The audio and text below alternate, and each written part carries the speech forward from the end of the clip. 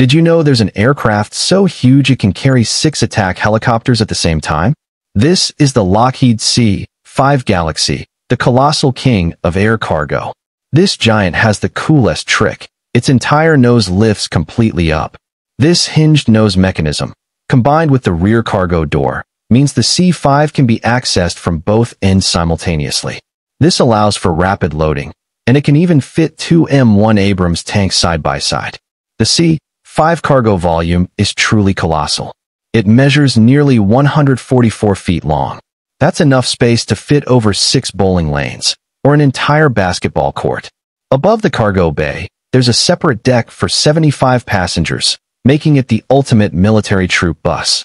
Because of its immense weight, up to 840,000 pounds, the C-5 needs 28 landing wheels to distribute the load. And the wildest fact, the C-5 can kneel.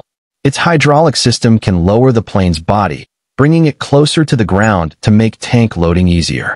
If you like historical content and unique facts like this, don't forget to subscribe or follow the UnikVerse channel so you don't miss out.